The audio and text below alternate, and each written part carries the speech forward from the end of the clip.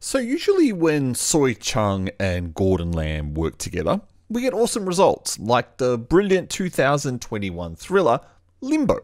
So, this movie has a lot to live up to. Hi, I'm the Artie Dans from the Asian Film Fans and Artie Dans YouTube channel, and I welcome you to this review of the 2023 mystery thriller Mad Fate. Now, let's check out what this movie's about. This movie is an interesting tale of a handful of intertwined characters.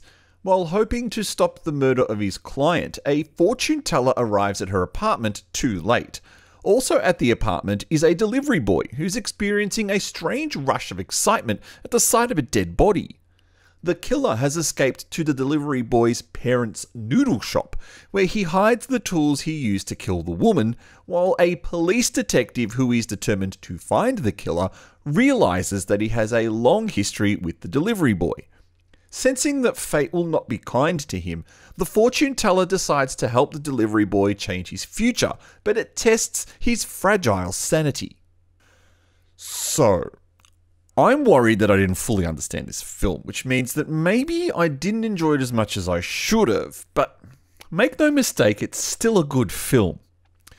So, this movie seems to be tackling the stigma of both mental illness as well as the lack of rehabilitation of youth offenders. So it also seems to be having a commentary on the fortune telling culture, and part of me is not sure if the movie's ridiculing it or if it's celebrating it. I'm also really on the fence with Gordon Lam's performance in this movie. Part of it's really awesome and it's well done. And other times I feel like it just borderlines into the ridiculous. Like there's a scene at the end where he's acting like he has a split personality, and it it just looks weird, um, and it left me confused.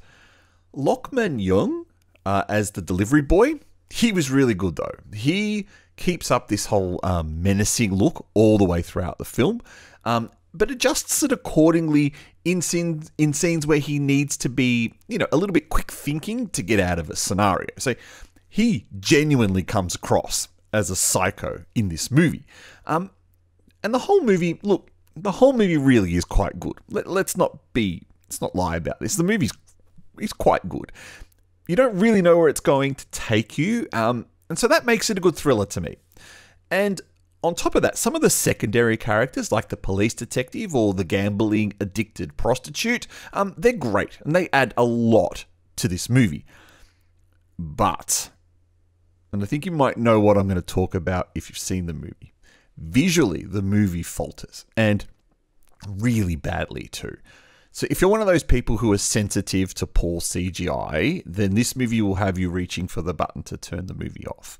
Um, and if you're one of those people who thinks that Marvel movies have terrible CGI, then your benchmark is ridiculous, and this movie will not. This movie will not gel with you at all.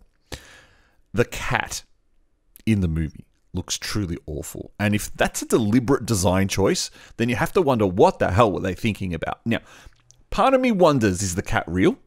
And the other part of me wonders, yeah, the cat's real. Why does it look so terrible? But you know what? It's not just the cat. It's all the compositing shots too. At the start, in the torrential rain, when he's trying to help his first client out, and you see the gravestones uh, up on the on the hill, that looks horrible.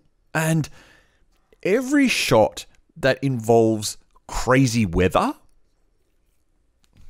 I think you know where I'm going with this. The weird part is the visual effects are done by Louis Koo's One Cool Pictures Productions, but clearly they had their D team on this. And another thing that left me absolutely baffled was the music choices. Now, there's frequent renditions of now public domain um, classical music in there, and, and all done very differently at times.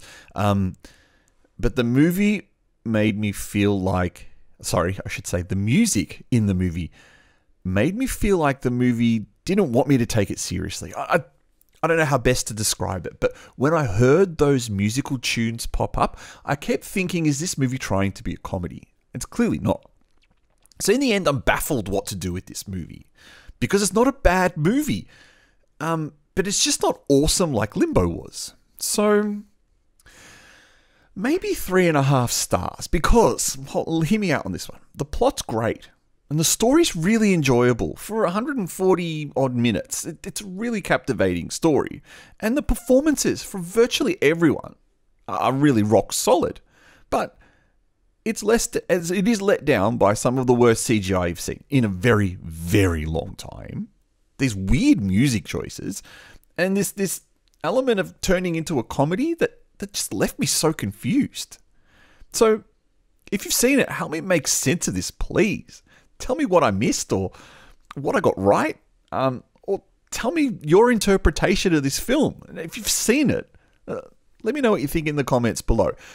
Press like if you enjoyed this review. Um, definitely leave a comment if you've got something to say about the film to help me understand it a bit more. Otherwise, I'll catch you in our next movie review. We've got a couple big ones coming up this week, including the Meg 2.